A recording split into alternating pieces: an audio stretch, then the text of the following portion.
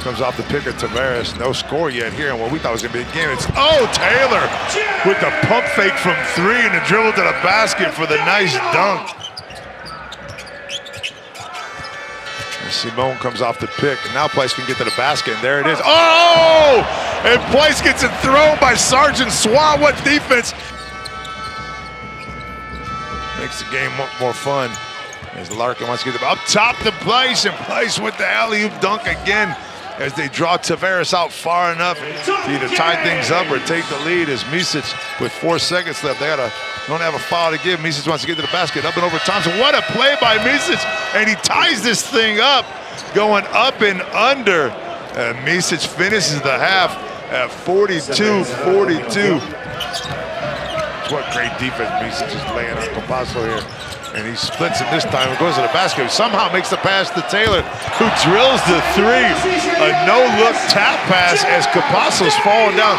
Talk about court awareness and knowing where your team is as he found Jeffery Taylor as he's falling down backwards.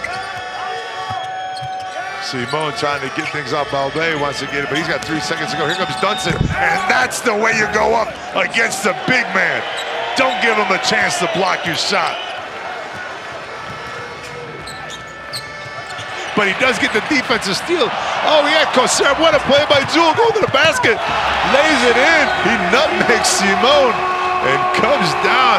And I think, Chris, we might have a seven-day magic moment right there. Campazzo going one-on-one. -on -one. Campazzo right at the buzzer.